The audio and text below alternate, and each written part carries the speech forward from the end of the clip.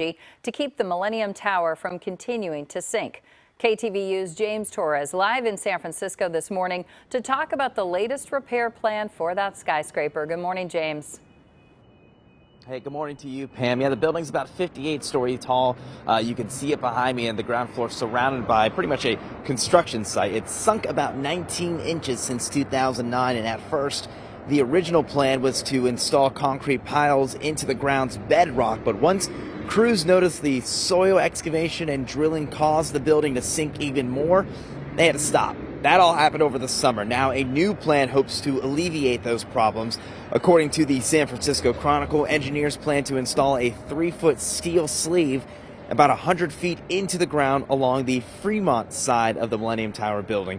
They'll equip it with sensors to see how much it can help prevent any vibration from drilling. They say that's really the cause of what has made it continue to sink.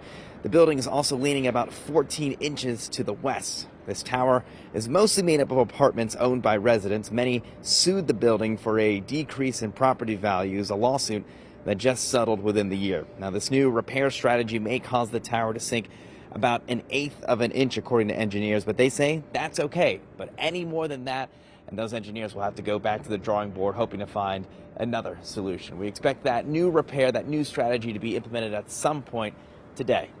We're live this morning in San Francisco. I'm James Torrez, KTVU, Fox 2 News.